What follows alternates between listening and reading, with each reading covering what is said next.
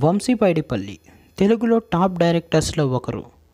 తెలుగులో వంశీ అనే పేరుతో చాలామంది డైరెక్టర్స్ ఉన్నారు. వారిలో వంశీ పైడిపల్లి గారి గురించే ఈ వీడియో ఎందుకు చేస్తున్నామంటే దానికి ఒక స్పెషల్ రీజన్ ఉంది. మనం సంవత్సరానికి ఒక సినిమా తీసే డైరెక్టర్స్ని చూసుంటాం. మూడు నెలలకే ఒక సినిమా తీసే డైరెక్టర్స్ని చూసుంటాం. కానీ సక్సెస్ ఉండి మూడు సంవత్సరాలకి ఒక సినిమా తీసే ఏకైక డైరెక్టర్ మాత్రం వంశీ పైడిపల్లి గారు మాత్రమే. సీన్ కట్ చేస్తే రెండు. వేల రెండు వంశీ పైడిపల్లి తను చేస్తున్న సాఫ్ట్వేర్ జాబ్కి రిజైన్ చేసేసి ఫిలిం ఇండస్ట్రీలోకి వచ్చారు. మొదట ఈశ్వర్ సినిమాకి అసిస్టెంట్ డైరెక్టర్గా పనిచేసిన వంశీ పైడిపల్లి గారు ఈశ్వర్ టైంలో ప్రభాస్ గారితో ఏర్పడిన ఫ్రెండ్షిప్ కారణంగా వర్షం సినిమాకి కూడా అసోసియేట్ డైరెక్టర్గా పనిచేశారు. రెండు వేల ఏడులో మున్నా సినిమాతో డైరెక్టర్గా పరిచయం అయ్యారు వంశీ పైడిపల్లి. మున్నా సినిమా మ్యూజికల్గా మంచి హిట్ అయినప్పటికీ కమర్షియల్గా అనుకున్నంత స్థాయిలో సక్సెస్ని సాధించలేకపోయింది.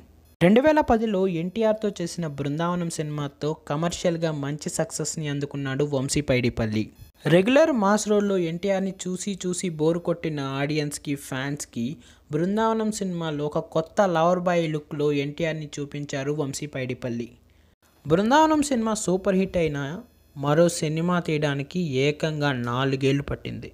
అదే మరి వంశీ పైడిపల్లి అంటే. రీసెంట్గా మహర్షి సినిమా ప్రమోషన్స్లో మాట్లాడుతూ మీరు సినిమాలు తీయడానికి అంత గ్యాప్ ఎందుకు తీసుకుంటారు అని అడిగిన ప్రశ్నకి వంశీ గారు ఒక స్టోరీ ఎంత టైంని డిమాండ్ చేస్తుందో అంత టైం ఆ స్క్రిప్ట్కి ఇవ్వాలి. లేకపోతే ఆ స్క్రిప్టు పర్ఫెక్ట్గా రాదు అని బదులిచ్చారు. టాలీవుడ్లో పేషెన్స్ ఉన్న డైరెక్టర్స్ అందరికీ వంశీ గారు ఒక బ్రాండ్ అంబాసిడర్ అని చెప్పచ్చు. బృందావనం తర్వాత రెండు వేల పద్నాలుగులో ఎవడు సినిమాతో మంచి కమర్షియల్ సక్సెస్ని అందుకున్నారు వంశీ? ఫేస్ ఆఫ్ స్టోరీస్ అనే సినిమాకి ఇన్స్పిరేషనల్గా ఎవడు సినిమాని తీశారు?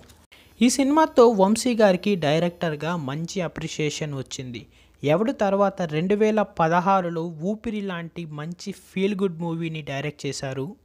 బృందావనం ఎవడు సినిమాలతో కమర్షియల్ డైరెక్టర్గా పేరు తెచ్చుకున్న వంశీ ఊపిరి సినిమాతో వర్సటైల్ డైరెక్టర్ అనిపించుకున్నారు ఒక రకంగా ఊపిరి సినిమా వంశీ పైడిపల్లి గారి కెరియర్లో ఫాస్టెస్ట్ ఫిలిం అని చెప్పొచ్చు. కేవలం రెండేళ్ళ గ్యాప్లోనే తీశారు.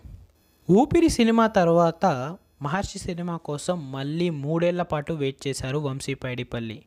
బృందావనం నుంచి వరుసగా సక్సెస్ఫుల్ మూవీస్ తీస్తున్న వంశీ గారిని సక్సెస్ఫుల్ డైరెక్టర్ అనాలో లేక సినిమా సినిమాకి మూడేళ్ళు నాలుగేళ్ళు గ్యాప్ తీసుకుంటున్నందుకు స్లోయెస్ట్ డైరెక్టర్ అనాలో తెలియక ఈ వీడియో తమ్నైల్స్లో కూడా స్లోయెస్ట్ సక్సెస్ఫుల్ డైరెక్టర్ అని పెట్టాం.